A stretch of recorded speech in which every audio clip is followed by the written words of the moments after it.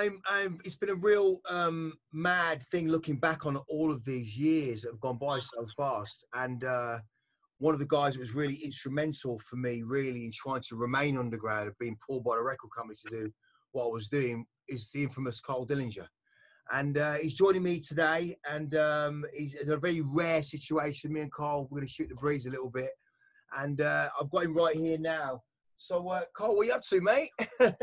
Yeah, I'm good, man. Just want to be on studio one, rebuilding the studio, bit of decorating, bit of everything, man. All rounder at the moment. So what you been doing with this lot? I mean, uh, you've been keeping busy. I mean, to be honest, that most times, of all the people that could be shouting from the houses about D and B and having the biggest, the biggest weight weight in this thing, it's been you. But you're one of the quietest, most humble pieces out there. I mean, I remember doing the, the shoot for for the Heads album, you know, for the for the whole Metal Tin for Platinum trying to get that shoot we did in Ladbroke Grove, it was a nightmare trying to get you down for that just to get a photo. Yeah, I hate anything anything video related or anything like that. I'm terrible. Yeah, I don't know what to say. As soon as, as, soon as that camera comes on me, I'm like, I'll just freeze. You know I mean? but it's been amazing. I mean, it's been amazing. It's been amazing. I mean, when the even with the boys with SP and when SP and Jubei get started on on dubs that never got released, and of course half the time you don't even realize how many dats went out there but my experience of you was when it when I heard the Batfink tune, you know, the bat, you know, kind of the the, the, the one. Yeah, yeah, yeah, yeah, the old, yeah, yeah. Learning tracks, man. Learning, isn't it? Part of the learning stage, yeah. Yeah, and I mean, I came to see you on the main drag going out to Brixton. I remember going to your flat there, big high ceiling, and listening to a few bits and saying, "Look, would you think about doing some stuff on Metalheadz?" And of course, you know, fast forward, getting blessed with, I mean, uh, you know, Angels Fell as and EP to this day has been seminal for the label. And literally, I watched Blade Runner the original yesterday, and it was like as soon as the samples started coming on, I'm like, you know what I mean? It was one of them, the era of we could we could go out and say literally anything, um, and it was beautiful. But I think, you know, the scene has been really good to us and kind to us, and I think in hindsight, looking back, you know, Timeless was a big experience and a big part of my coming of age. That's what the album was about for me. It was a coming of age album. Whereas Saturnz Return was about my addiction and, and you know the lamenting for the mother, which no one was going to get. I was always going to get crucified for that album, always. Um, but I stand by my work as, as a true artist in that respect. But timeless, timeless. I mean, I started talking to you after the release on Heads the idea of of you doing Seventh Seal, and if I remember rightly, quote me on this. I came down to your other place. It was going down the hill. It had that mad drain. Remember that? Gee. you had that that drain. Oh, next door neighbour's drain. That next door neighbour. I'm like, mate. Terrible. I know. you went, coming, in, mate, come in, but yo, you got to excuse me, mate. Do you remember that? We were, we, we were laughing about it. But he was like, mate, I, I remember going in, you had about four air fresheners. I mean? And it was like spraying them up, and then you shut all the doors, and we get into the living room, and it was done. It was wicked. Yeah. I remember that living room because you had it all set up, and I think when we started rolling out, um, you know, Seventh Seal, and I remember clearly on the on the mod wheel when we went, we went, we want to go stereo left and right, and we we, we, we sample the track back to ourselves, and had it going left and right on the mod wheel. Do you remember that? Yeah, and, yeah, yeah, yeah. And that was pretty mental because I thought, and, and there was that one thing where the sample of the flute played an octave higher, and it went. Yeah, it was a mistake, wasn't it? It was a complete. I remember that. We were like, oh, no, that sounds all right. I remember that. that. Sounds all right. It was one of them like. Sometimes you make a little mistake. You're like, oh, what's that one? That sounds all right. That's right. Yeah. and it was do that, that one every now and then. Yeah, yeah, and that was what he was. He was like in in the high of it. For me, being able to get blessed with even sitting by you and working because I was you know always over the shoulder of another guy engineering and of course I worked with Dego, worked with Mark, you know, and yeah, I was yeah. always out of my comfort zone. You know, Mark Rutherford and those guys. But I was always out of my comfort zone, especially with people that were rolling at DnB that had been a thoroughbred in the sense of what you've done. So I was nervy. Uh, I didn't seem like I was boisterous, but I was nervy still because it was a thing that was sitting there going, what's the ideas, what's the sounds? And of course, we had Justina's pads and all that kind of stuff, which really worked well with the track, for the intro, because it was that really mad intro of having that. Because remember, we, we did that. It was it was just a really great experience. But what was yeah, it? Like you, what was it like for you? that experience of, you know, obviously. Yeah, I, I don't. I've not. I've only worked with a few people. Uh, ever worked with a few people, so it's like it was uh, your energy levels on a whole different level, and it's I've never worked with anyone like you before. It's like a rocket going off in the fucking studio. fucking light it up, let it fucking watch it, fucking explode. You know what I mean? That's G all through in it. But yeah, I've never worked with anyone like you before, man. So that was madness. But no, we, the energy levels were high, obviously, and we and we come out with some fucking magic, man. Do you know what I'm saying? Yeah. Strings, everything, your fucking hand movements. You're like you can, you can you're contouring the strings with your fucking hands. You're telling me what to do. Do you know what I mean? That's just you all the way through, man. Yeah, but I think that was it, when I think about them times in a really lamenting way. You know, when we look back on life, look at that, being able to manage to kind of engage with someone like that, and we were on this level of doing it. You know, it was. I mean, I think about when we did that. You know, this is a bad for me. When I listened to the way you know the pass from Justina, the bang, bang, bang, bang, bang, it was really crusty, and the way that the pass, and the way it moved, but the drums, the little flicks you do those little edits. A lot of people couldn't get that. Could they weren't at that level of editing at that point. Yeah, you know, yeah, you know even yeah. Diego Martin would roll out and they would layer three or four breaks, but you were fl- you were flicking them and moving them, and at that time, different level, mate. I mean, and and I, I think you know that was for me really important, you know, and, and I think that the album wouldn't have been complete if it wouldn't have been for them two tracks. Because I know it sounds pretty mad, but from an underground perspective, you think about what we were doing. You know, Randall left the answer phone message. You know, what fuck, man? What are you doing, man? You know what I mean? He's always thinking about a fucking album, man. You don't want to go out anymore because I just, I just locked off with the album. Locked off, yeah. You got, you got going. You went in the zone, didn't it? That's And I went in the zone with it. But I mean, of course, we later on we went on to do great things because obviously I got to sign you to London yeah, that's for right. your for your album. And as as much as Mhm. it's on heads, I think you had to do your own thing. And I think that album, Yeah, as far as bangers are concerned, I mean, every track on the album on Cybotron is just like later. yeah, yeah. Dance floor, dance floor album. It worked. It does what it said on the tin, basically. Yeah. You know what I mean? Bangers, bangers, loads of bangers. but you've you've always done that. What's I mean, what's what's what's your what's your take on that? I mean, you've just done your thing, and like you Dance, right? Get people to dance. That's it. Get bang it. Get get fucking get the drop right. Smash it through and just get get people to move, innit? Basically. yeah, that album. I mean, that for me was what did what did that. I mean, Timeless was a different as a concept album. Of course, it is. You're you're a completely different artist, obviously, to me. I mean? You're more into. You're all round everything. You're touching. You're emotional. You know what I mean? You're taking people on, on through different texture of strings and everything, and different emotions. You're going to de- different levels of depths. You know what I'm saying? So with my things, more always been more just like dance or bang. Do you know what I mean? Mm. What was for me? I think the idea of when we did when we when we did those tracks that, that what is the like you said the balance of that album had everything. And I mean, the one thing I remember, you know, even, even Rob was technically gifted in a sense. He had a lot of the software that was, you know, right up front. You know, we're, look, we're dealing with Mesa files when no one had Mesa files, how you could move and chop through and gate stuff. You know, we were still chopping up in a really mad way and putting it through the keys, you know, and doing stuff. But you could do stuff with Mesa files that were different. The way of audio, you know, when you first put audio on the screen as audio, I think what you can stretch it and move it around. It was like, wow, that was that was going to be a whole visual thing. That was like, wow, you can see it on the screen as audio. So I think what we achieved is the, the whole scene is a general. I always say that Timeless belongs to us. It belongs to the people. It belongs to the, you know, we were all. It was part of that whole thing from Riders Ghost to, to all those things influenced the album.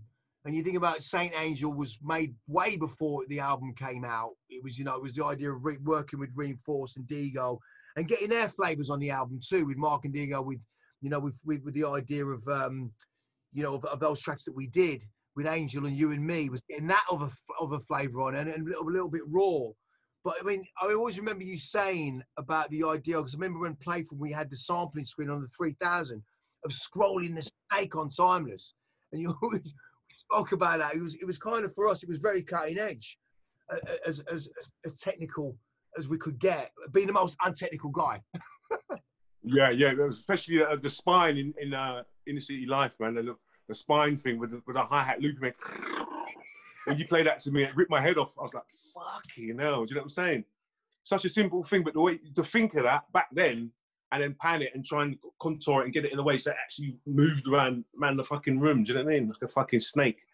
It was fucking amazing at the time. I mean, the concept then, and I've been listening to it now. It, it sounds like a normal album, but it sounds like a summertime that I remembered. You know, a winter time I remembered. It's it's that idea of what that music was, and and I've you know, I'm spoke to. I'm going to be speaking to Randall you know, I spoke to Groove about, you know, speaking to Randall because obviously Randall took the cassette, the whole 21 minutes, and played it to him, and he just he just sat there and went, "What the fuck?" It's just it's just the whole concept of it.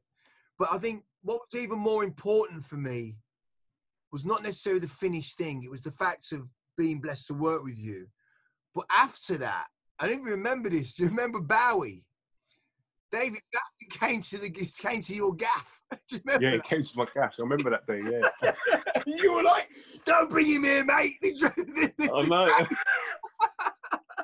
But obviously, he was a South London boy. He'd been he'd been around South London. It was, and I remember taking him from the West End in the BMW, and he was shitting himself.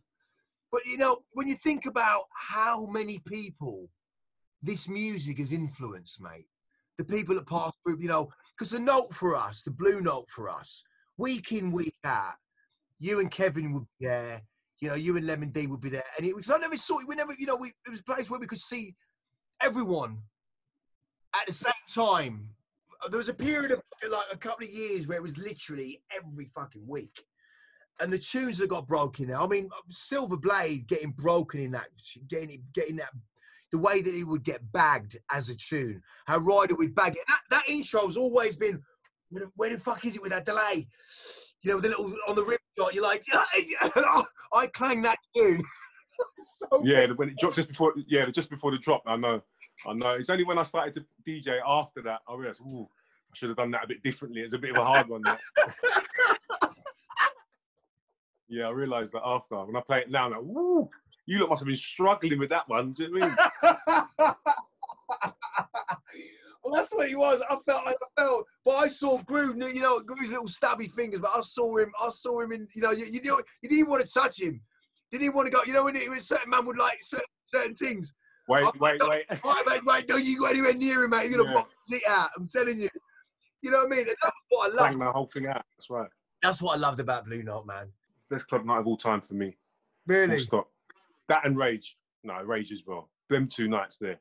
Are both different things, obviously. Both different things. Rage and your Blue Note sessions the best club nights of all time, as far as I'm concerned. I think a lot. It, it was a catalyst for a lot of other stuff, but I think that the, the, the tunes that got broke and the energy that would happen. Cutting edge. That's what I'm talking about. Both of those clubs were platforms for cutting edge music. Do you know what I mean? So, you know, we've grown up listening to everything, man. You know I mean? So it's a, it's a whole. It would. I, I don't think it'll ever happen again in history for me. I don't. I don't think it will. It's never going to happen again because of what we've grown up listening to, the, the, the, the uh, eclectic palette that we've grown up on. Do you know what I mean? Of all styles of music, it's just that time in in in a, that time with the birth of all them different styles. I mean, mi- mi- mixing together. I mean? That merge, merge of all them different flavors coming together. Yeah, it was weird because that's a groove the other day. There's only one man that ever made a tune outside of this thing that really had the ranks that never came from DnB, and it was it was Todd Terry, Jungle Blackout. Remember when that got drawn out in there, and it was like everyone's looking at each other, going, cancelling it out. It ain't Cole. It ain't. It's not Adam F. It's not. You know what I mean? It was like, who, who made this fucking tune? And Fabio drawed it out and just destroyed the gaff. Do you know what I mean? It's like the tunes that would level people. And when, when you know, when digital come with his thing, you know what I mean? And, and you know, and, and then, you know, them digital and spirit. Oh, the amount of time I'd hear the hangman break get rocked, get absolute killers, absolute killers. Killers. Do you know what I mean? Photek would draw out, you know, you'd hear that on Oh, come on. I remember hearing, I think I heard Groove drop something like, it was something like Still Life remix on the back of like, on the back of um, Boomerang, Graham, or Convoy, Matrix, when it first came Oh, out. Convoy. Killer. Convoy. It was one of the most one of the most horrible tunes for me of all time in terms of the genre. So what do you I mean? The musical journey that you said, I think you're right. It can never happen again in history. No, no. That's for sure. Um, and I think the idea of Bowie coming to the club, I mean, everyone went to the club. Spice Girls, they just ended up just ended up, I mean, being down there and also actually getting left alone, to be honest, because the clientele were, were, were so different. We would, I mean, I remember at one point we had yard food on a Sunday night, a few ball games up, Remember that? Yeah. Christian running around off his Stew chicken and that, rice and peas, bit of jerk. Do you know what I mean? Belly belly full. Perfect. I'd be like, right, Yeah. I've got an eight figure gear coming down. I'm lovely. Everyone else is smoking their weed. I'm going to be off my tits for the night. Um, I mean, and there's and there's sweat in that place, and I think the one thing for you, which I think was syno- syno- synonymous with your music, I got to hear your music to the fullest in stereo. When Troy worked that sound, when Eskimo Noise worked that Yeah, sound, Eskimo, yeah, you got the right, you got the sound right in there. You know what I mean? And the only time the sound's ever been right in a club was when you did obviously mass because you put your own sound in. You but you were killing people. Yeah, that's a whole different concept. Yeah, yeah, yeah. That's that's that's a hurting bass one, isn't it? I mean, Troy killed it in there, man. In the, he got it just right. He was in there every week, so he had to, but he got he got it nice in there. The balance was nice in there. It was heavy and crystal clear. Do you know what I mean? Done a great job in there with that one. And I I think I think I was I was speaking to Groove about you know I think the crowning moment and again something that could never happen in this day and age is when Trenton bought the gold disc down. The album had gone gold. We got a cake out, turn the lights on, and it was like we've gone gold, guys. We've done it. And then right, lights off, let's have it.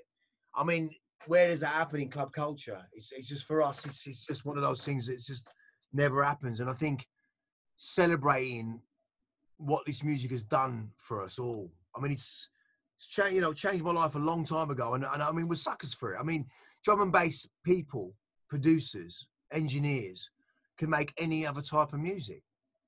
But the other way around, it just doesn't work like that. No, that's right. Not a lot of people can come in and do it and get it right. That's right. You know, and yet we're the, you know, been at the bottom of the ladder for a long time.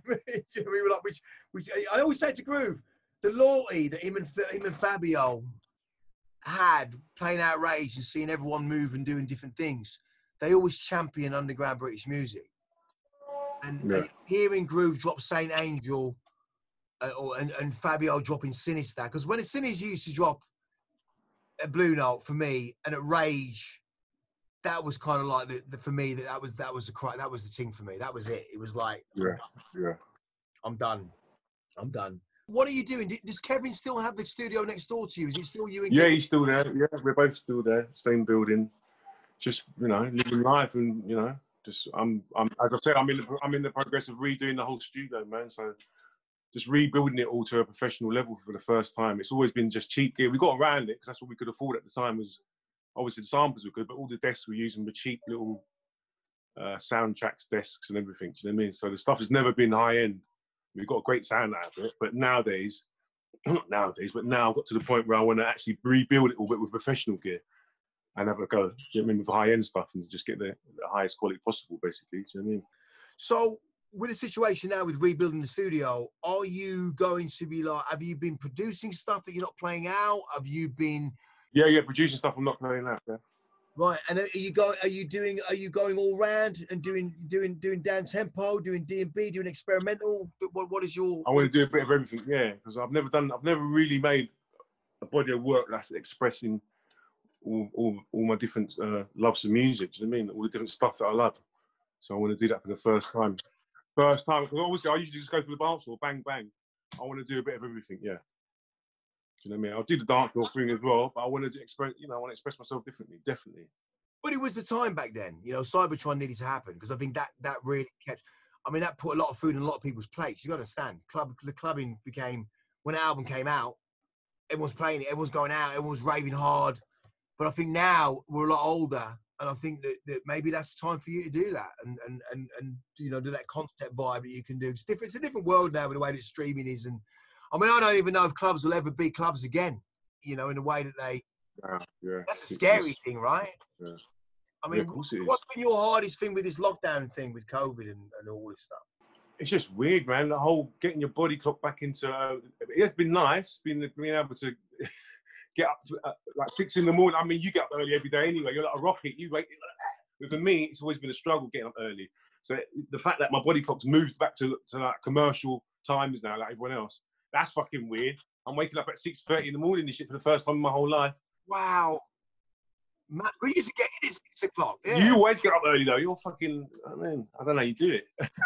well, it's, it's cool getting old. At fucking six in the morning. It's getting old, man. Enough That's all it is. That's all it is. But I, I just think that you know, I, I look, man. It's just it's been amazing. I just think that you know the, your contribution. I would never have been making music. I think a lot of us can say that who are listening to this that would not a lot of us would not be making music if it wasn't for you, because a lot, you know, reinforced and you You Mate, know, we've all we've all influenced each other. You influenced me to take it a bit further with the with the more technical side of things and the, the futuristic vibes. You brought that to me. Do you know what I mean? You influenced me on that end of it. So you know, we've all helped. We've all done it. We've all influenced each other. I think definitely. You know what I mean? You're good. You're good at you know drawing things out of people. You influence people and give them that, give them that pushing to that edge. You know I mean? You've always been good at doing that, and you pushed me to an edge and, and brought something out of me that probably wouldn't have come out if it weren't for you. So, you know what I mean? We've all influenced each other. I we're think. blessed. We're blessed. I just hope that we can work together in the future, you know, and do something. Um, I mean, off the record, because I'm going to edit this to fuck. Um, you know, I've got. I don't know what you're doing, but I mean, if you if you want to touch anything on Timeless, you're more than welcome, mate. You'll get paid for it. If, if that's Yeah, something, I was lucky, man. Sea of Tears is one of my favourites on that. all right, listen to me. Got Pat Metheny influence. I know you love that. So you drew it in, man, with those fucking. is off the record. It's off the record. If it's something you think you could track or whatever you could do, Yeah, and I mean it, Carl, I'm only going to, this is a one time offer, mate. It's a one time deal because I would not think I was having this conversation with you. I mean it. yeah, If it's something you can touch on Timeless, I know that, you- that you can probably duplicate the mel breaks and that stuff. I can probably get anything played that you need for it. You know, if you want me to help you to put that together. But if it, I, I just think you should do something, Carl, because I've only got this one opportunity. The album's going out in December, so we have until September. So, is there anything? Have a think about it. But I'm really serious. All right. Let me just touch Seven Seal again or whatever. But you know, that's safe. But I think you know, it's it's what if there was anything that you thought. This is my take on that piece of music. With your mindset to what you're doing now, and if you can stand by your words, I'm not asking you just go do a DB fucking, or do whatever it is. I'm saying to you, from a seminal album, if you would have a crack at something like that, and just go, you know what, G, I'm gonna have a crack at. It can go no further to my ears. You might say, gee, it didn't work out. But I, I think that if it's something like of mate, because I don't know, it might be something because you could you pull it inside out, Yeah, you know. Um, and it's and, and it's really weird because I spent a year with zero tolerance, right? King of the remix, love doing little jazz remix. My man works on samples, lovely, great. He's been trying to do sensual for years. And I went, no, no, no, no, no, I'm not having it. I don't want to fucking cue up. You're not having it to get fucking brownie points for the next bit. Ain't gonna happen. All year I've been beating him up because he's just done a whole damn tempo album called Searchlight, which is fucking outstanding. Outstanding, mate. Proper Lalo Schifrin jazz, Photek. He really, but without the Photek aspect, completely on his own thing. yeah. I told him this is, I started, like he said, start pulling it out of him, mate. This fucking sensual mix. He smashed it to Zero bits. two. You talking about that? He smashed it to bits. He smashed it. The Exiles boy. Yeah, killer. He just came out with his EP. Him and Dom came. I've not heard anything like on that level for a long time. Killed it, rotten. Music has not been on that level for a long time. Talking about Zero T and Exiles. He took it right to the edge on that. So he went into. Hurt me up with that one. He did hurt me Yeah. that one. Did. I'm not gonna lie. Did. Personal favourite flavour that is. He got it to the T as well. Killed it. And the thing about that is it led to all this other stuff. And now he's just bagged sensual. I said, look, turn it inside out. Think of it, think of it inside out as a glove. Pull the glove off, invert it. You're trying to do a, a dance floor tune when it ain't a dance floor tune. It's as, it's, it, it, it has essence as a dance floor. If you were playing in a Fabio set at the heat of the moment, you can slip it in and you can slip it out. You get it. But you've got to set the tune up. So he's gone through it and he's pulled out the bass player and he's pulled out pian- piano player. And I said, don't give it away. So the intro riff, you think, what is this? And then you get it. You think, shit, it's sensual. And that, to me, is worthy of going, right, it's cool. Things like Robin Smith, who played the original keys on You and Me.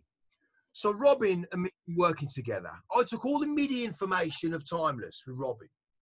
You know what? I'm like, get right in there, take the MIDI information, vintage keys, knock out the Lego bricks of, of all the chord notes that are tripping over each other, smooth it out. We've got a really good bed to build melody on, to bring out the vocals and everything else. Just this, just you and me. He said to me, "Listen, man, I'm so thankful. Let me send you this." He sent me this classical version of you and me that just had me in bits, mate. Absolute, but not even mixed. I says, James, let's just mix the pads, a little bit cloudy here and there, but it's just stunning. I, I just, I, I laid the vocal down, kind of operatic take, sent it to Echoes. Echo's laid down a take on it. I'm like, that's me. Tears down the face. Thank you very much. Job done. But you know, you getting involved, doing a piece. What's it going to be? Will you have a crack? Yeah, I'd love to.